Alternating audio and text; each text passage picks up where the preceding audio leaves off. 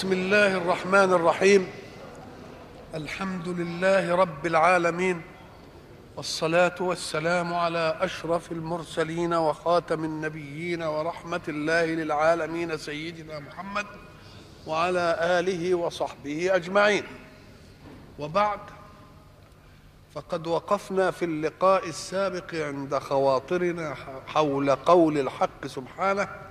فليقاتل في سبيل الله الذين يشرون الحياة الدنيا بالآخرة ومن يقاتل في سبيل الله فيقتل أو يغلب فسوف نأتي نؤتيه أجرا عظيما. وقلنا إن الحق سبحانه وتعالى فرع على القتال بالفعل هنا أمر فليقاتل. فمن يستمع له ويقاتل بالفعل له حالتين. إما أن يقتل وهذا جزاؤه كما قلنا وإما أن يغلب. انظروا إلى الجزاء في قوله سبحانه فسوف نؤتيه أجرا عظيما. شوفوا دقة الأداء القرآني لأن الذي يتكلم هو الله. نحن نعلم أن ترتيب فعل على فعل أقول لك إيه؟ احضر لي أكرمك. إن حضرت إلي أكرمتك. فبمجرد الحضور يحصل الإكرام. إن حضرت إلي سأكرمك. يبقى الزمن متمادي شوية. مش بمجرد ما تيجي تكرم يبقى فيه إيه؟ شوية زمن تاني. يعني أنت تحضر عندي وبعدين قد تأخذ تحيتك إنما الإكرام يجي إيه؟ بعدي. وإن أطلت الزمن أكثر تقول إن حضرت إلي فسوف أكرمك. يبقى كم مرحلة لترتب الجزاء على الفعل؟ ثلاثة. جزاء يأتي وجزاء يأتي بعد زمن بسيط تؤديه ساعة وجزاء يأتي بعد زمن أطول تؤديه سوف. كان المفروض إن اللي يقول إيه؟ إن اللي يقاتل في سبيل الله نؤتيه إيه؟ ولا سنؤتيه أجر؟ أم قال فسوف نؤتيه؟ مما يدل على أن من يقتل سيكون دليلا على أنه قتل في منهج حق يستباح فيه الدم فيغري الغير بأن إيه؟ يعتنقه. والذي يغلب أيضا يعلي كلمة الله. وإذا علت كلمة الله دعوة أو استدلالا من قتيل يبقى زي ما قلنا كل ما يحصل خير من أحد يبقى هيروح لمين؟ لمن قتل أو من إيه؟ ودي هتفضل ليوم القيامة ولا لأ؟ يبقى لازم سوف الطويله دي تيجي. كل مدة سوف دي هت إيه؟ وأيضا فإنك ستقرأ الآية قبل أن تقوم الساعة. فسوف. مش هنقرأها كده برضه؟ يبقى دليل على أن في جزاء موصول لا مقطوع ولا إيه؟ ولا ممنوع. يبقى الأداء القرآني أداء إيه؟ محكم. أداء محكم. فسوف نؤتيه. الحق سبحانه وتعالى ساعة يتكلم عن نفسه وذاته أساليب كتيرة يقولها. مرة يجيب أسلوب الإفراد. مرة يجيب أسلوب إيه؟ الإفراد. ومرة يجيب أسلوب الجمع. وإحنا بنقول بقى زي كما علمونا في النحو يقول لك ده بتبقى النون لإيه؟ للتعظيم. إنا نحن نزلنا ما قالش أنا نزلته قال إيه؟ إنا نحن نزلنا. مش كده؟ وهو واحد. أم قال لك شوف كل شيء يكون نتيجة فعل من أفعال الله تيجي له النون بتاعة التعظيم دي. ليه؟ لأن الفعل حين يصنع شيئا لخلقه من متعة أو من نعيم أو عايز صفات كتير قدرة للإبراز علم لترتيب الله تدبير. حكمة بسط. الله عايز إيه؟ عايز متعلق صفات إيه؟ صفات كتيرة يبقى يقول نؤتيه. إن الصفات هتتكاتف عشان تعمل إيه؟ تعمل الخير. تعمل. لكنه حين يتكلم عن ذاته مجردا عن الفعل يتكلم بضمير الإفراد. إنني أنا الله. إنني أنا الله. وأنا اخترتك يا موسى. فساعة يتكلم عن ذاته إنما يتكلم بن إيه؟ بالوحدانية ما تقولش بالإفراد. بالو إيه؟ بالوحده وحينما يتكلم عن فعله إيه؟ يقول إيه؟ يقول يأتي بالجمع ولذلك دي حلت لنا إشكالات كتيرة. يمكن أنا حكيت لبعض إخوانكم ما حدث عند قراءة قول الحق سبحانه وتعالى ألم ترى الله الذي أنزل من السماء ماء فأخرجنا. طب أنزل مش كان يناسبها إيه؟ أخرج. إنما أنزل من السماء ماء فأخرجنا به ثمرات مختلفا ألوانها. الله. طب إيه دي مفردة ودي إيه؟ قال لك يا أخي بص كويس. لأن ساعة قال أنزل من السماء ماء لم يكن لأحد من خلقه ولو بالأسباب فعل في إنزال المطر. إنما ساعة نزل المطر.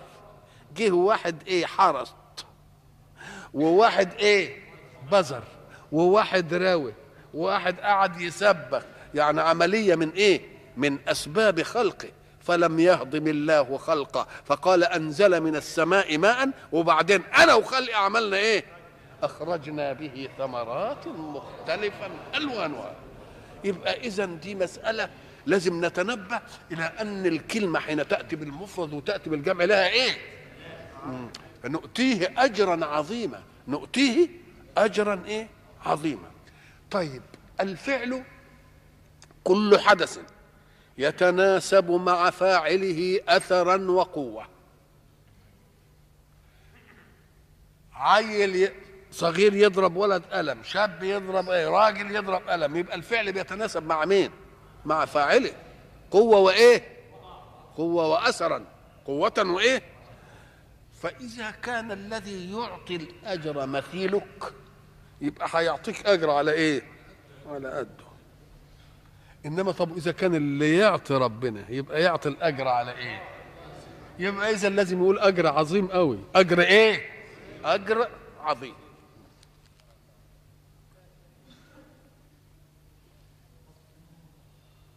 نيجي هنا نقول له ما هو الأجر اولا؟ طب الأجر ده هو إيه؟ الأجر مقابل المنفعة.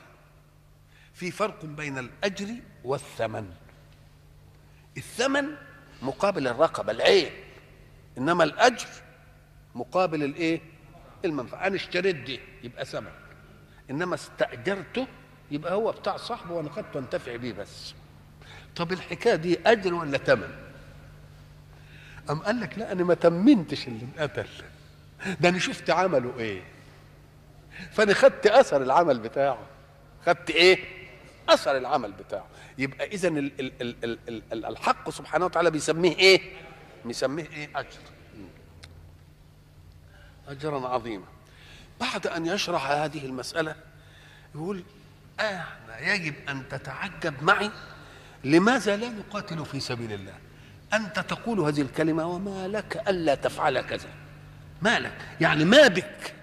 إيه اللي واقف عندك في إنك ما تفعلش؟ فكأن المسألة دي إيه؟ يوحي بها الطبع وتوحي بها الايه العقل ان ينفعل فإذا ما فعلتهاش. تبقى حاجة غريبة قوي يقول طب وأنتوا ليه ما تقتلوش في سبيل الله. ده الحكاية دي حلوة قوي في سبيل الله ما دام هتديكوا الإيه؟ ال- النتائج الحلوة دي. يبقى اللي يمتنع عنها يبقى نتعجب منه ولا ما نتعجبش؟ وما لكم لا تقاتلون في سبيل الله. تقاتل في سبيل الله. إحنا قلنا إن ده لتعلي كلمته. ومرة يجي مع إعلاء الكلمة أن تقف بجانب المستضعف الذي أوذي بسبب دينه. يبقى في حاجتين اتنين. فقال وما لكم لا تقاتلون في سبيل الله والمستضعفين. في سبيل الله وفي سبيل مين؟ يعني حتى يا أخي ما كانش كده إنسانية بالناس اللي بيتعذبوا عشان مؤمنين دول. ده أنت يجب إنك أنت إيه؟ تقاتل في سبيل إنك أنت تخلصهم من الإيه؟ لأن كونهم صابرين على الإيمان مع هذا العذاب دليل على إيه؟ على قوة الإيمان. يبقى دول حقيقين بأنك أنت تدافع عنهم ولا لأ؟ وتخلصهم ولا لأ؟ يبقى ربنا سبحانه وتعالى بيديني في أسلوب تعجب. ما لكم لا تقاتلون في سبيل الله والمصالح. فكأن منطق العقل ومنطق العاطفة ومنطقة الدين تحتم أن تقاتل. فإن لم تقاتل يبقى دي مسألة عايزة إيه؟ نبحث ولذلك ساعة ما ربنا يطرح القضية مثل هذه بيطرحها على إنها دي الأمور الناس يستوون في في أنها تكون يبقى العجيب في أن لا تكون ولذلك هناك يقول كيف تكفرون بالله قولوا لنا الحكاية دي بتكفروا بربنا إزاي؟ إيه يعني الحكاية بتاعت كفر بربنا؟ أكيد دي مسألة إيه؟ مسألة عجيبة لا تدخلوا إيه؟ في العقل فقولوا لنا أنتم بتكفروا بربنا إزاي دي؟ إيه الحكاية دي؟ وما لكم لا تقاتلون في سبيل الله والمستضعفين. شوف كلمة المستضعفين وبعدين يجيب من الرجال والرجل في المفروض فيه الإيه؟ ما القوة. شوف بقى الظرف الذي يجعل الرجل مستضعفا. يبقى اللي يجي بعده أشد ولا لأ؟ المستضعفين من الرجال والنساء والولدان. الذين يقولون ربنا أخرجنا من هذه القرية الظالم أهلها واجعل لنا من لدنك وليا واجعل لنا من لدنك نصيرا. يعني بلغ من ظلمهم وبلغ من اضطهاد الكفار له أن يدعو الله إنه يعمل لهم إيه؟ يخرجهم من هذه القرية الظالم أهلها. اولا ما هي القرية؟ القرية مكة. طب وإيه قصة دول؟ قال لك بعد أن هاجر رسول الله صلى الله عليه وسلم فيه أناس من المؤمنين بمكة ليست لهم عصبية تحمي هجرتهم. فممنوعين من أن يهاجروا وظلوا على دينهم. فبقوا إيه؟ مستضعفين. مستضعفين دول رجال ونساء وولدان. كلمة ولدان يدل على أن الاضطهاد الذي أصابهم اضطهاد شرس. حتى ما رحمش الولدان. طب والولدان دول إيه ذنبهم؟ الولدان. طب أنت للرجال والنساء لأنهم اعتنقوا. إنما ده دول لسه ما يعرفوش. مما يدل على شراسة إيه؟ الاضطهاد. فبيقول لهم وما لكم إيه؟ لا تقاتلون في سبيل الله وفي سبيل المستضعفين من الإيه؟ من الرجال. والنساء والولدان. طيب لما استضعفوا دول قالوا إيه؟ قالوا ربنا أخرجنا من هذه القرية الظالم أهله واجعل لنا من لدنك وليا. العبارة حتى عبارة الدعاء. تدل مش على إنهم هيخرجوا على إنهم برضو اللي هيظل منهم هيجي لهم ولي يلي امرهم من المسلمين. فكأنها أوحت لنا بأنه سيوجد فتح لمكة. هيبقى في فتح إيه؟ فتح في مكة. وقد كان. الجماعة المستضعفين دول مثلا واحد اسمه سلمة ابن هشام مش قادر يهاجر. واحد اسمه الوليد ابن الوليد مش قادر يهاجر. مثلا. واحد اسمه عياش ابن أبي ربيعة مش قادر يهاجر. واحد اسمه جند أبو جندل ابن سهيل مش قادر يهاجر قال سيدنا ابن عباس رضي الله عنه لقد كنت أنا وأمي من هؤلاء المستضعفين.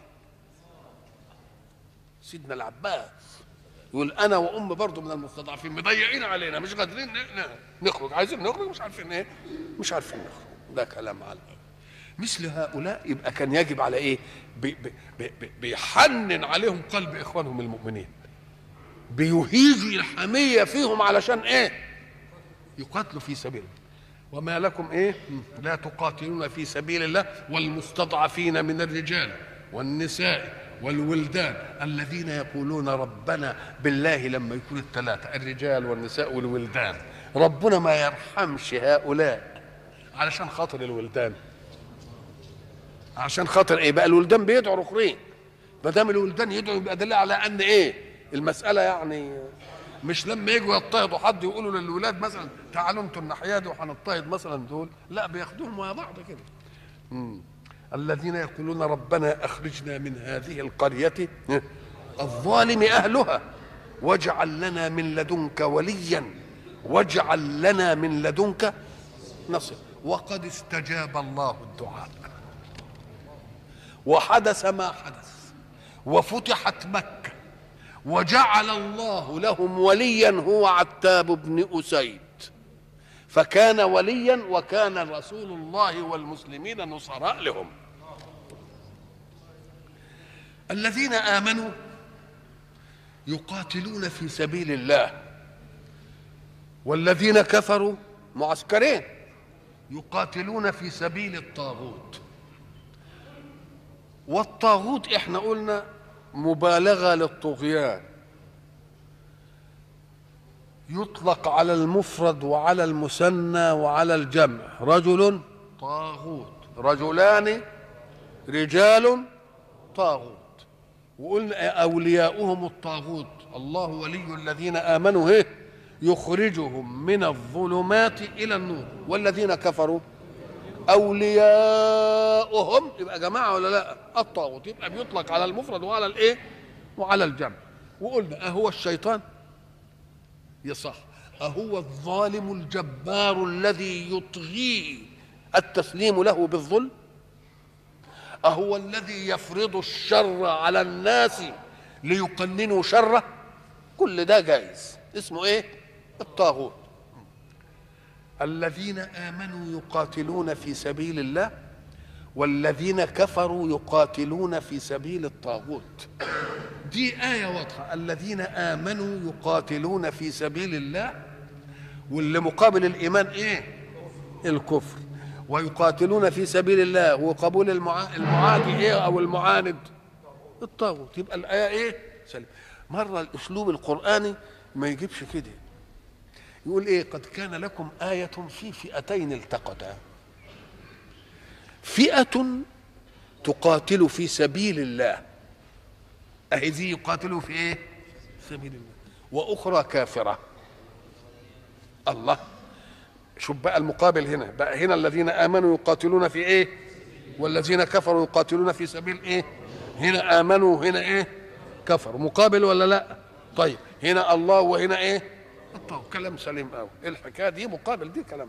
إنما لك قد كان لكم آية في آية عجيبة. في فئتين التقتا فئة تقاتل في سبيل الله وأخرى كان لو عايز التقابل تقاتل في سبيله.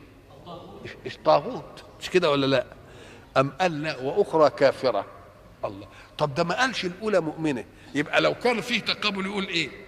قد كان لكم آية في فئتين التقتا فئة مؤمنة وأخرى إيه؟ وخلاص ودين ودين قد كان لكم آية في فئتين التقتا فئة تقاتل في سبيل الله وفئة تقابل في سبيل الطاغوت. وتبقى برضو المقابل ولا لا؟ هو ما قالش كده. عشان تعرف. العبارات ال... ال... ال... اللي ربنا سبحانه وتعالى بيعمل إيه؟ بينصرها علينا عشان نعرف الخطفة الاعجازيه فيها إيه. قال لك دي الآية الذين آمنوا يقاتلون اهي في سبيل الله. والذين كفروا ماشيه ولا مش ماشيه مقابلات. طيب لو قال مثلا في غير القرآن لو قلنا في غير القرآن الذين آمنوا يقاتلون في سبيل الله والذين كفروا يقاتلون في سبيل الطاغوت زي القرآن ما قال. ولا نقول الذين آمنوا يقاتلون في سبيل الله وما نجيبش في سبيل الطاغوت. نجيب الكافرين لأن الكافر مفهوم إنه إيه؟ آه قال لك إذا ذكرت في الثانية مقابل محذوف من الأولى أو حذفت من الأولى مقابل محذوف ثانية بيسموه في في, في الأسلوب البياني احتباك. إزاي؟ أم قال لك لقد كان لكم آية في فئتين التقت فئة إيه؟ وأخرى كافرة يعني تقاتل في سبيل مين؟ طب واللي بتقاتل في سبيل الله تبقى شكلها إيه؟ الله هاتها بقى كده كلها تركيبه قد كان لكم آية في فئتين التقتا فئة مؤمنة تقاتل في سبيل الله وأخرى كافرة تقاتل في سبيل الطاغوت. يبقى الكلام ماشي كله ولا لأ؟ أم جه؟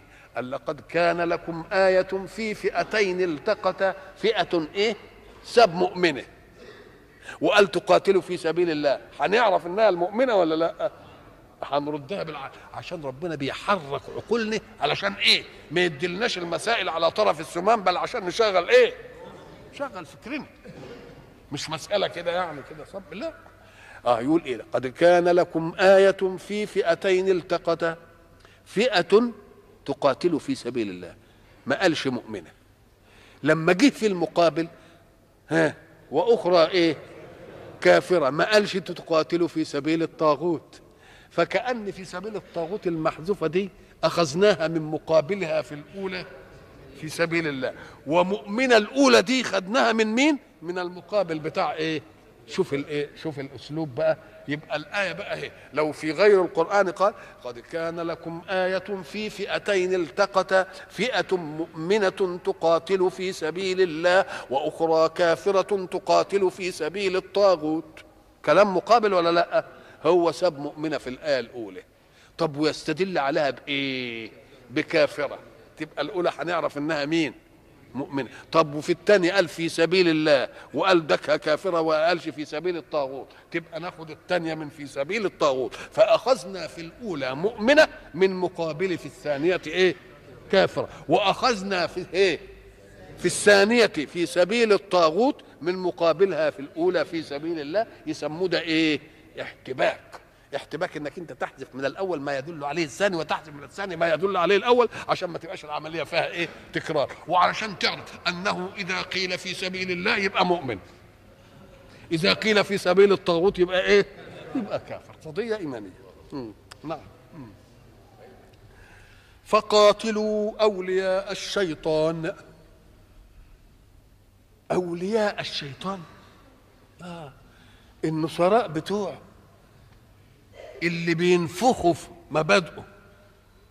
مش كده؟ اللي بينصروا وسوسته في نفوسهم عشان يعملوه على الناس. دول أولياء مين؟ لأن الشيطان زي ما قلنا سابقا حينما حصل الحوار بينه وبين خالقه قال له بعزتك لأغوينهم أجمعين. مش كده قال له؟ قال له إيه؟ فبعزتك لأغوينهم أجمعين. بس يعني قال له إلا عبادك اللي أنت عايزه ما أقدرش عليه. إلا عبادك منهم الإيه؟ اللي أنت عايزه أنت ما أقدرش عليه. دي علشان تدلنا على أن المعركة ليست بين إبليس وبين الله. فتعالى الله أن يدخل معه أحد في معركة. ده المعركة بين إبليس وبين مين؟ وبين الخايبين من الخلق. مش كده ولا لأ؟ يبقى لما قال بعزتك لأغوينهم أجمعين دل على أنه عرف كيف يقسم. عرف كيف يقسم. لأن لو ربنا عايز الناس مؤمنين الشيطان ما يقدرش يهاوم ناحية واحد. إنما كون ربنا عزيز عن خلقه اللي يؤمن يؤمن واللي ما يؤمنش يؤمنش من هنا دخل الشيطان. يبقى دخل الشيطان من إيه؟ من عزتك عن خلقك. إنما أنت لو عايزهم بدليل إيه؟ إلا عبادك منهم المخلصين أنا ما أقدرش عليهم. يبقى دخل الشيطان على هذه من باب إيه؟ بعزتك. وبرضه دلوا على أن يعني واخد باله ودارس المسألة قال له إيه؟ لأقعدن لهم صراطك المستقيم. الله إذا الشيطان مش هيجي على الصراط المعوج لأن اللي ماشي على الصراط المعوج والطريق الغلط. يريد شيطانا ده ربنا يكفينا شره هو. يبقى مريح مين؟ آه مريح الشيطان.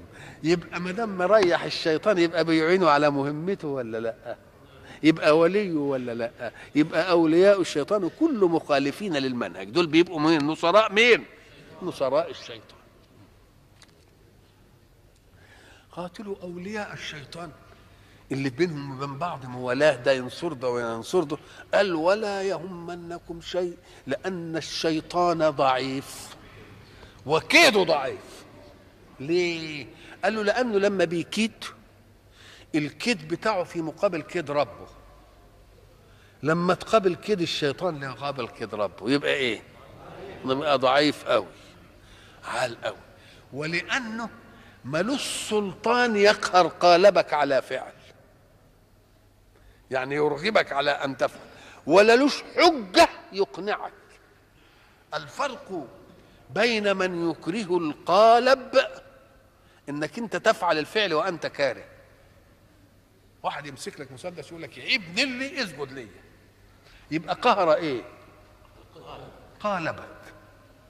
إنما هل يقدر أن يقهر قلبك ليقول حبني؟ اهي دي مش ممكنة. يبقى اذا المتجبر يستطيع أن يقهر إيه؟ يقهر القالب إنما ما يقدرش يقهر مين؟ القلب. امال اللي يقهر القلب مين؟ الحجة والبرهان. يقنعني. اذا فالأولاني يجعلني أفعل الفعل وأنا كاره. اللي بيديني حجة بفعل الفعل وأنا إيه؟ محب. بيقنعني أفعلني. مش بيرغمني إن أنا أفعل. يبقى اذا الأول يبقى قوة. والثاني يبقى إيه؟ حجة. مفهوم؟ فالحق سبحانه وتعالى بيقول اعرفوا إن الشيطان ده ضعيف جدا لأنه لا له قوة يرغمك. لما تحرم منه تقول لا مش عامل مش هيجي لقلبك يقول لك لا لازم تعمل. ما عندوش دي ولا عندوش حجة يقنعك لتفعل. يبقى ضعيف ولا ما ضعيفش؟ إمال إيه الحكاية؟ قال إنتم من الغفلة بتاعتكم وحبكم للشهوة زي ما قلنا زمان على تشويرة من الشيطان. مش عايز لا يقهر قلبكم ولا يقهر قالبكم. الحكاية إيه؟ بيشور لكم. ولذلك سيقول في حجته في يوم القيامة على الخلق يقول وما كان لي عليكم من سلطان. أنا ما كانش لي عليكم سلطان. لا سلطان قدرة أرغمكم على فعلكم بالقالب ولا سلطان حجة أرغمكم على أن تفعلوا بالقالب. وما كان لي عليكم من إيه؟ أدي كيدو ضعيفة إلا أن دعوتكم فاستجبتم ليه طب أنتوا اللي خايبين طب أنا أعمل إيه؟ مش كده ولا. يبقى كيد الشيطان إيه؟ طب ما هو الكيد بقى؟ ما هو الكيد؟ الكيد هو محاولة إفساد الحال بالاحتيال. شوف إزاي؟ فيه واحد يفسد الحال إنما مش بحيله عايز آه خلاص انتهى. إنما واحد عايز يفسدها بحيث إنك أنت لما تيجي تمسكه تقول له أنت فسدت تقول ابدا. أنا ما عملتش أي حاجة. يجي كده ويعمل حاجة في الخفية كده في الميكروفون نيجي نتكلم ما يتكلمش. مش كده ولا؟ لا؟ يبقى ده إيه؟ أفسد الحال بإيه؟ هذا هو الكيد وهذا الكيد لا يقبل عليه إلا الضعيف. لأن القوي يواجه. ما يكدش. قوي؟ لما يجي واحد ويدس الواحد السم كده وفي قهوة وفي مش عارف إيه يبقى معناه إيه؟ ها؟ هو فيه احتيال لإفساد الحال لكن بإيه؟ باحتيال. في في في عمل لإفساد الحال باحتيال لأنه ما يقدرش يواجه. إنما القوي؟ ما يعملش الحكاية دي. اللي بيقتل واحد زي ما قلنا مثلا حتى اللي بيقتله كده مواجهة. نقول له ده انت خايب. ده انت أثبتت بجرأتك على قتله أنك لا تطيق حياته. ما تقدرش على حياته. إنما كانت الرجولة تقول لا خليه وأنا قدامه اللي نشوف هيعمل إيه. ادي الشطارة. مش كده ولا لا؟ يبقى اذا كده الشيطان جاء ضعيف من إيه؟ من إنه لا يملك قوة يقهر بها قالبا ولا يملك حجة يقهر بها قلبا ليقنعك. خلاص؟ يبقى هو بيشور وانت بت إيه بتيجي. يبقى الكيد يبقى لما يكون فيه إيه؟ فيه احتيال لا يحتال إلا مين؟ إلا الضعيف. على الأول. ال- كل ما يبقى ضعيف قوي يبقى الكيد بتاعه أكتر. كل ما يبقى ضعيف قوي يبقى الكيد بتاعه إيه؟ أكتر. ولذلك كانوا يقولوا مثلا ده المرء أحسن من الراجل والمش عارف إيه لأن ربنا بيقول إن كيدهن إيه؟ طب ما دام كيدهم عظيم يبقى ضعفهم أعظم. الله طب ما هو كده والا تبقى إيه بتكيد ليه؟ ما تبقى كده يعني كده وتبقى مواجهة. ولذلك يقول لك إيه الشاعر العربي حب يبرز هذا المعنى آه، إبراز عشان ما تستعجبوش. أم قال لك وضعيفة فإذا أصابت فرصة قتلت. كذلك قدرة الضعفاء. لأن الضعيف ساعة ما يمسك الخصم بتاعه مرة والظروف تمكنه منه يقول لك يا خراب أنا سيبه ده أنا لو سيبته هيعمل فيها اللي بينعمل. هي هي بقى دي. إنما القوي يمسكه وبعدين يقول طب وعلى إيه؟ ما خليه ونعمل حاجة تانية أضربه على على رأسه. يبقى اذا إن كان الكيد عظيم يبقى الضعف إيه؟ الضعف. مم. إن كيد الشيطان كان ضعيفا لأنه لا قدرة له في فيكره الإيه؟ القالب ولا حجة له فيكره الإيه؟ ف- فيقنع القلب. ألم ترى ومرت ألم ترى دي كثير.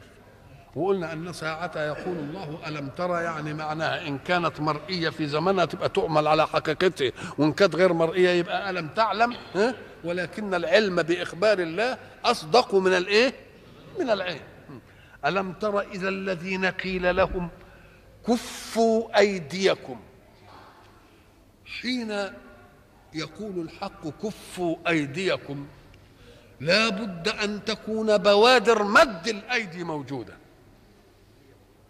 وإلا فواحد لا مد إيده ولا حاجة تقول له كف إيدك. ما تقولوش كف إيدك. يبقى وا- بوادر مد الإيد إيه؟ موجوده طيب كفوا أيديكم. وما دام كفوا أيديكم والكلام هنا في القتال يبقى كفوا إيدكم عن مين؟ يبقى الكلام في القتال. كفوا إيه؟ أيديكم عن الإيه؟ عن القتال. وأقيموا الصلاة وآتوا الزكاة. فلما كتب عليهم القتال إذا فريق منهم يخشون الناس كخشية الله أو أشد خشية الكلام اتضح ولا لا؟ ألم ترى؟ إلى الذين قيل لهم كفوا أيديكم.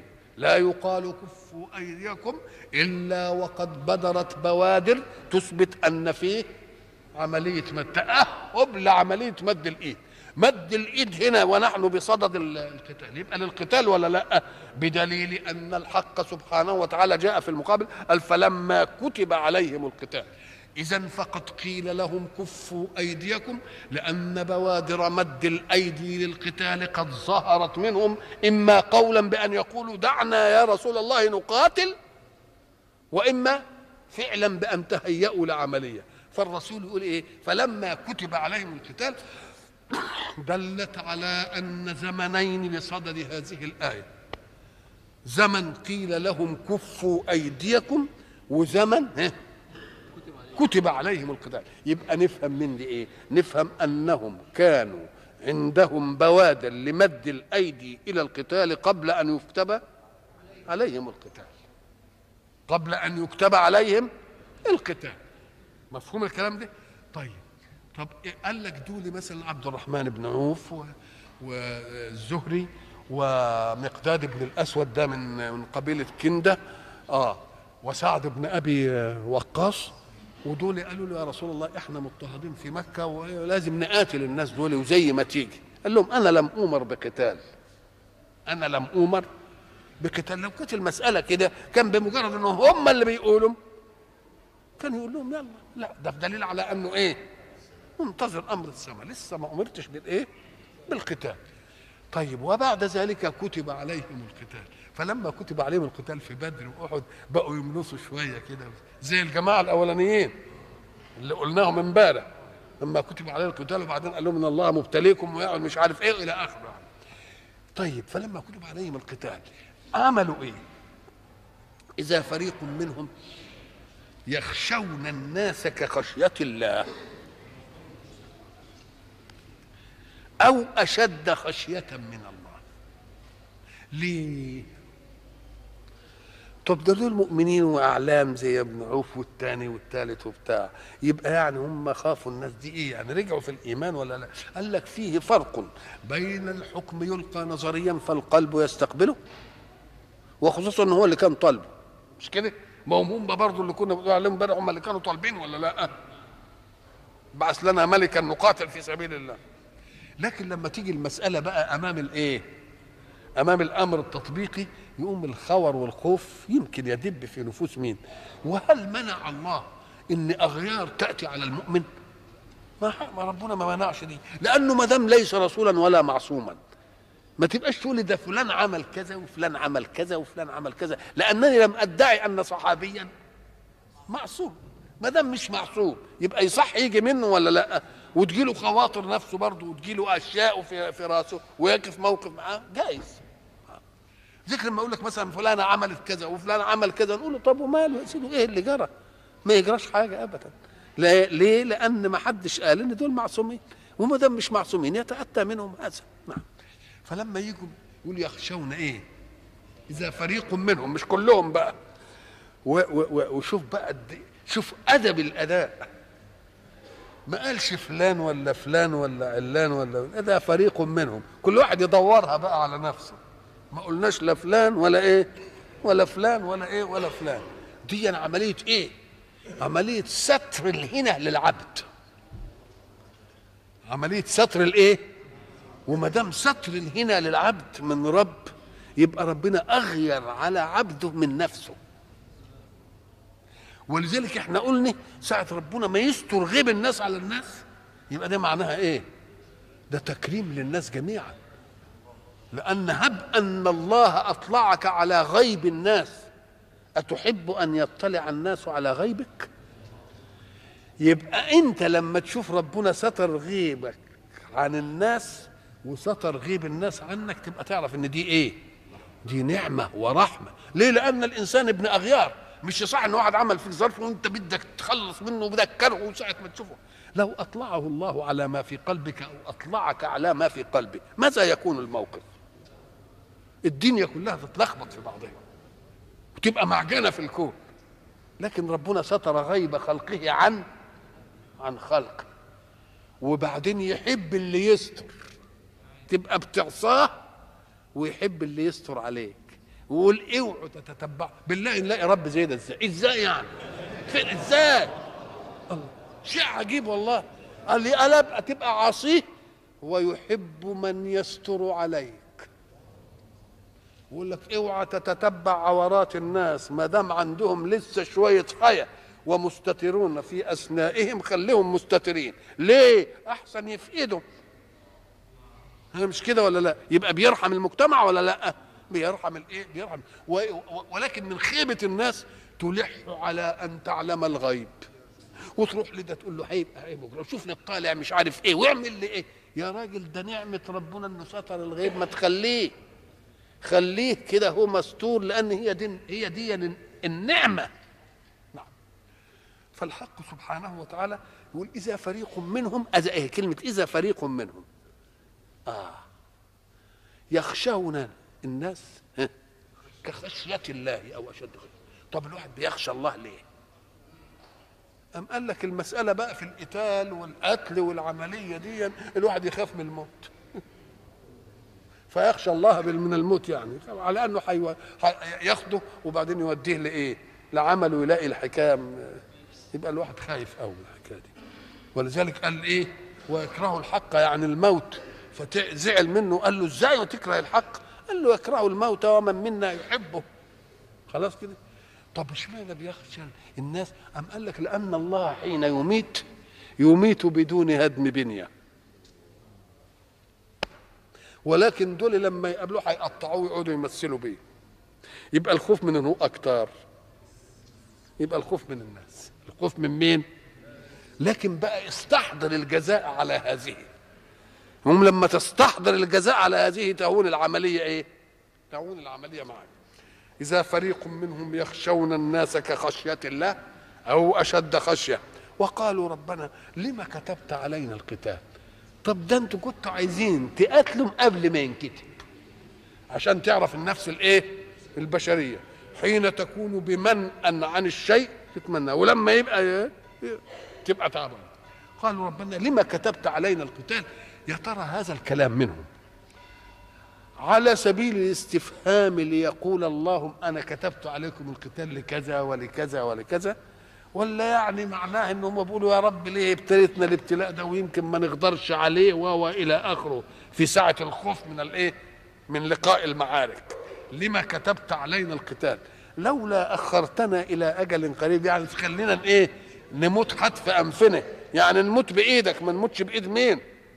ما نموتش بإيد الإيه العالم وكلمة إلى أجل قريب بيدلك على أن كل واحد منهم فاهم إن هيموت هيموت.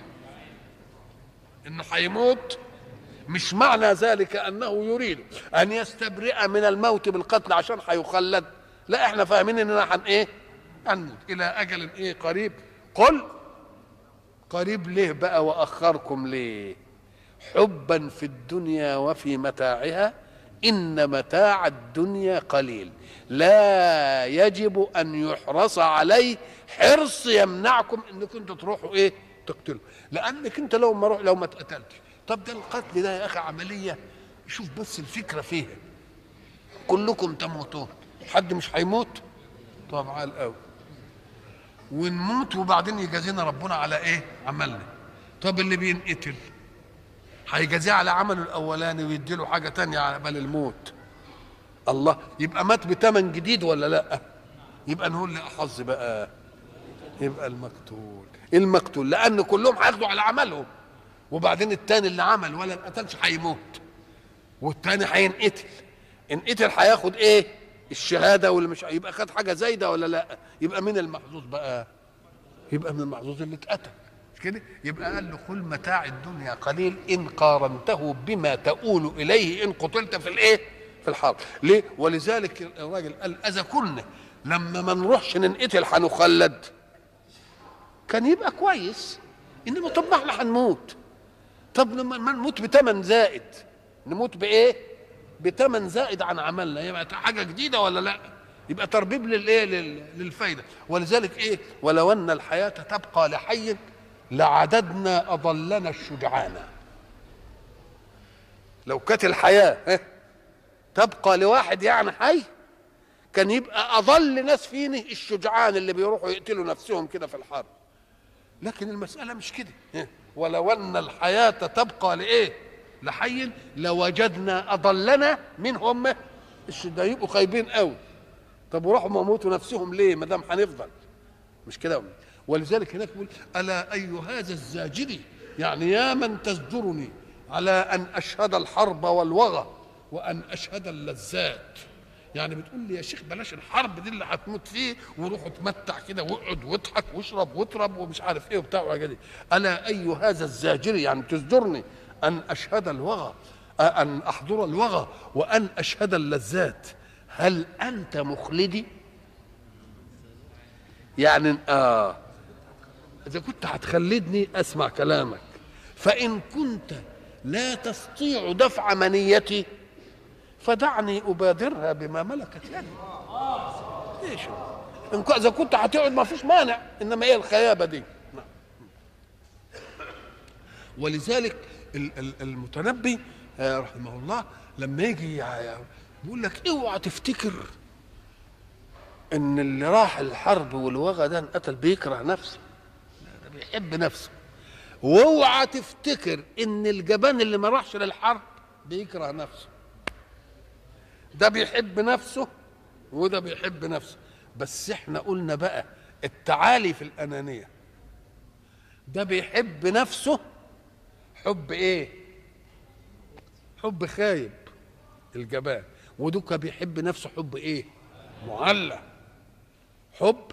ولذلك يقول لك إيه؟ أرى كلنا يعني كل الناس جميعا يبغي الحياة لنفسه حريصا عليها مستهاما بها صبا. اوعى تفتكر إن حد بيكره الحياة. كل واحد بيحب الحياة وبيحرص على الحياة ومستهام بها وعشقها وصب فيها. بس النظرة مختلفة. فحب الجبان النفس أورده التقى. قال له اوعى تروح الحرب لا تموت ما هو بيحب نفسه. وحب الشجاع النفس أورده الحرب دوكها عايز الحياة ده إيه؟ يبقى أنانية واطية قوي نازلة. ودوكها بيحب نفسه عايز إيه؟ يبقى أرى كلنا يبغي الحياة إيه؟ لنفسه حريصا عليها مستهاما بها صبا. فحب الجبان النفس أورثه التقى. وحب الشجاع النفس. اورده الحرب. يبقى الاثنين بي إيه؟ بيحبوا نفسهم. إحنا الواحد عنده ولدين. ولد يصبح الصبحية. ساعة ما يسمع الفجر كان ربنا هديه يقوم ويتوضى ويصلي وياخد له كوباية شاي ومش عارف إيه ويحضر كتبه ويلبس ومش عارف إيه اللي يقرأ ويتنه خارج على مين؟ على المدرسة. والولد التاني نصحيه ينام ننجز فيه ينام نعمل فيه اللي ما ينامش يا الله. وبعدين يطلعوه من البيت بالعافية يروح يتسكع يقعد في ريحة يشوف ناس بيلعبوا يلعب ومش عارف ويقعد على قهوة ولا ده بيحب نفسه وده بيحب نفسه. بس ده بيحب نفسه حب إيه؟ واطي نازل. أمده قليل. هيحب نفسه شوية وبعدين يطلع صعلوك من صعاليك الحياة. ودوكا بيحب نفسه التحب الإيه؟ العالي بعد مدة يبقى سيد في المجتمع. وله إيه؟ وكلهم بيحبوا إيه؟ بيحبوا نفسهم. وإلى لقاء